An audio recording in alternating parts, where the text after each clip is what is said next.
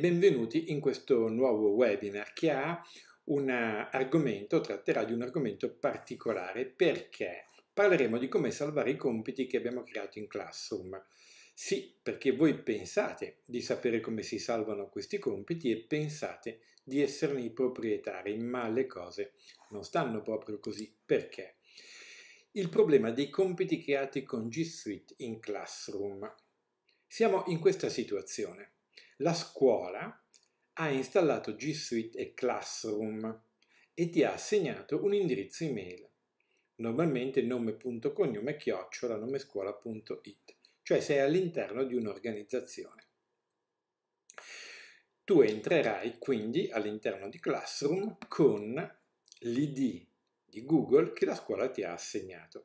E cosa hai fatto? Hai creato dei test, per esempio, per i tuoi allievi proprio con gli strumenti della G Suite in Classroom nel tuo corso. La questione è, ma sei davvero sicuro di essere il vero proprietario dei tuoi compiti e risorse? Perché la questione è che formalmente sei tu il proprietario, ma nella realtà è l'organizzazione della tua scuola. E lo stesso vale ovviamente per un'azienda, che è il reale proprietario. Infatti che cosa succede? Che se tu cambierai scuola, perderai quello che hai fatto. Perderai quello che hai fatto perché il tuo account dovrà essere cancellato per una questione evidente di privacy. Non puoi portarti in giro dei documenti riservati che stanno all'interno della tua organizzazione. Quindi sopra di te c'è un altro livello che domina. E allora vediamo un po' come stanno le cose. Perché se tu cambi organizzazione, perdi i tuoi documenti. Sei davvero disposto a perdere il lavoro di mesi che tu hai creato con i tuoi studenti e nessuno ti ha spiegato che quel lavoro resta all'interno della tua organizzazione e quando te ne vai lo perderai? Bella questione. Dobbiamo pensare a che cosa fare. Devi avere un altro ID Google. Per esempio potresti già avere il tuo ID Google personale, oppure se non ce l'hai, creane un altro. Quindi d'ora in poi distingueremo i due identificativi Google, quello che ti ha assegnato la scuola e quello che avrai tu personalmente. E allora il sistema consiste nel trasferire i compiti che crei da Classroom, i compiti, i documenti, tutto ciò che tu crei al suo interno, al tuo Google personale. Ma la cosa è semplice, ma non è così intuitiva e soprattutto non la puoi fare nel modo con cui tu credi di operare all'interno di Google, cioè non la puoi fare come fai normalmente con i documenti, se hai un account Google personale, che utilizzi all'interno di questo tuo ID. Dal drive del tuo ID Google della scuola Classroom crea una copia Ecco che cosa devi fare. Hai creato il tuo compito. Questo è un classico compito classroom. Il compito, il titolo, è chiaro, hai aggiunto che cosa? Anzi, hai creato, con questa sezione, hai creato un modulo. Un modulo di Google, cioè un test, un test sull'acqua, diciamo così. Perfetto. Adesso, dall'ID che ti ha dato la scuola, accederai a Drive farai clic sulla dashboard, quella dei nove pallini, e all'interno di Drive, del Drive che corrisponde al classroom che ti ha assegnato la scuola, troverai il documento acqua, questo test. Lo potrai trovare nel tuo Drive fra i documenti ad accesso rapido, in bella evidenza perché l'hai appena creato, oppure lo dovrai andare a cercare sfogliando il tuo Drive. In ogni caso, quando l'hai trovato, che cosa farai? Con il computer, stiamo parlando quindi di accedere a questi documenti attraverso un computer, con il tasto destro del mouse creerai una copia di questo documento. Una copia. Crei questa copia e poi, e poi dal drive del tuo ID Google della scuola Classroom trasferirai questa copia al tuo ID invece Google personale. Come? Sempre con il tasto destro del mouse, sulla copia che hai creato, scegli l'opzione Condividi. Si aprirà una schermata ovviamente e vedrai che in questa schermata il proprietario del documento formalmente sei tu. Questo è un bene ed è un male allo stesso tempo perché?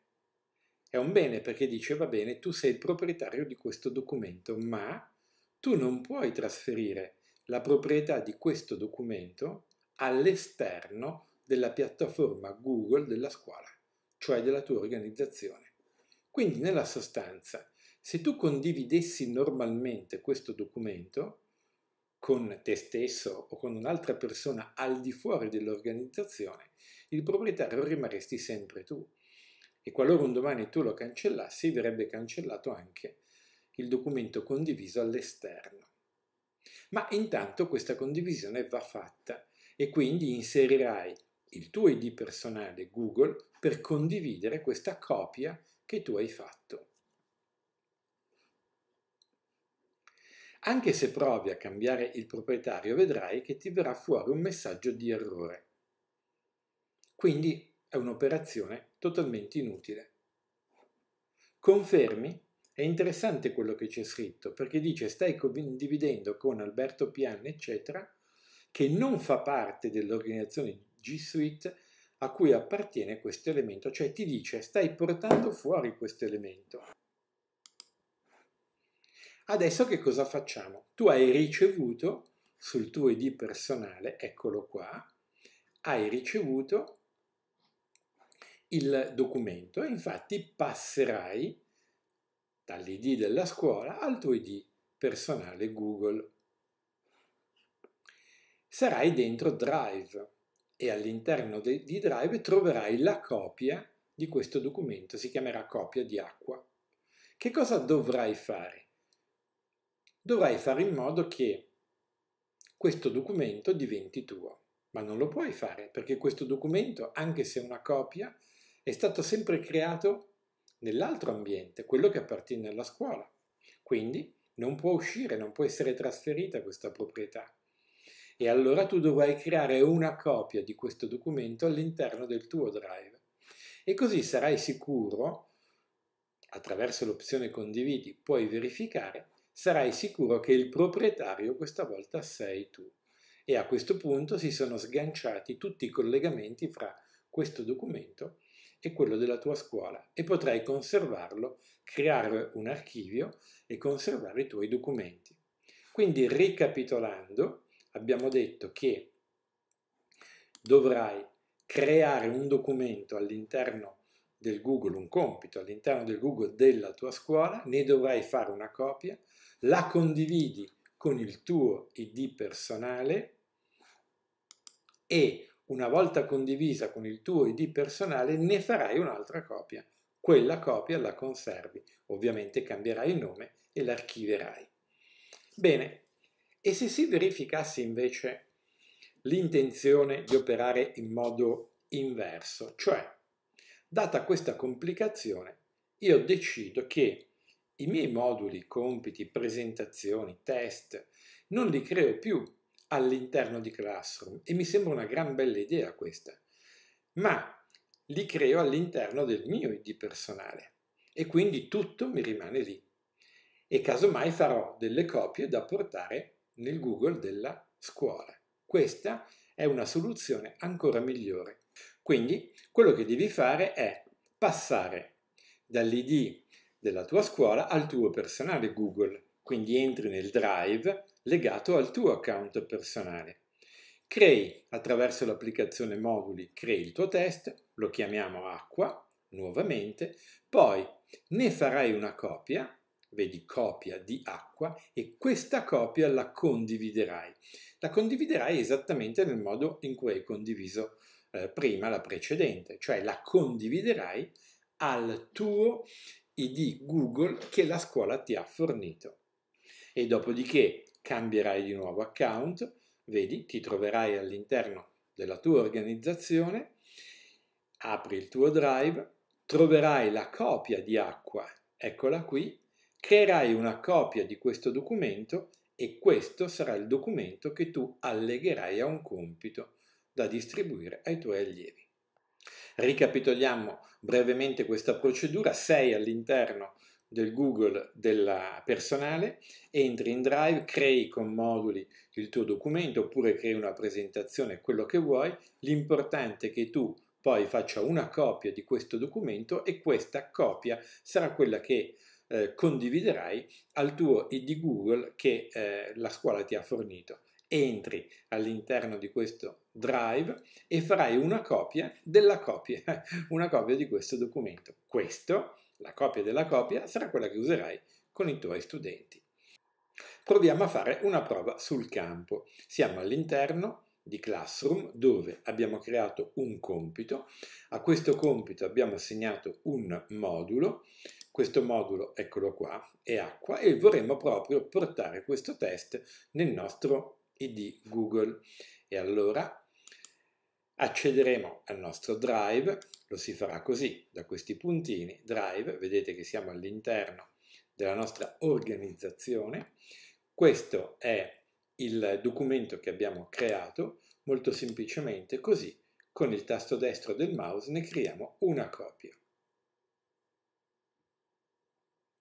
Eccola qua, questa è la copia. Sempre con il tasto destro del mouse scegliamo l'opzione condividi, inseriamo il nostro ID personale di Google, eccolo qua, e inviamo il documento. Confermi? Certo che confermiamo. A questo punto dobbiamo passare dal nostro ID eh, assegnatoci dalla scuola a quello personale, quindi faremo semplicemente così. Ed eccoci qui, abbiamo la nostra copia di acqua. Facciamo la copia della copia. Cambiamo nome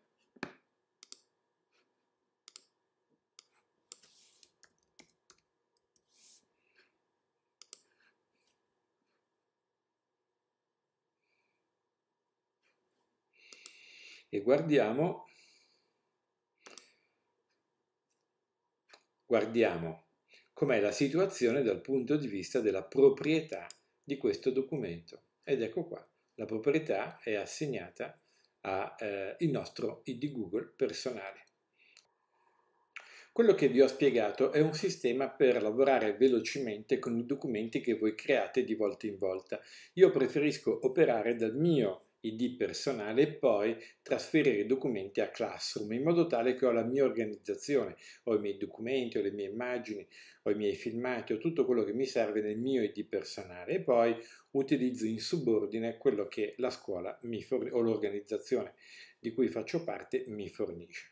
Però Google offre anche la possibilità un po' arzigogolata di creare dei backup. Arzigogolata perché eh, non è automatica, di solito i backup hanno delle funzioni automatiche, invece questa bisogna svolgerla manualmente. Allora, che cosa bisogna fare? Beh, entrate eh, nel vostro ID Google dell'organizzazione, poi eh, fate così, gestisci il tuo account Google vi apparirà una schermata che è questa che vi dice benvenuti e puoi trasferire i tuoi contenuti. Questa è la prima operazione da fare, avvia il trasferimento. Anche in questo caso, vedete, c'è comunque bisogno di avere una Gmail personale, un ID Google personale, perché?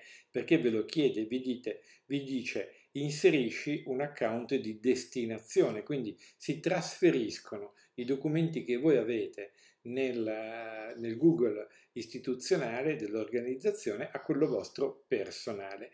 Prima di farlo però leggete le informazioni perché ci sono delle procedure da fare.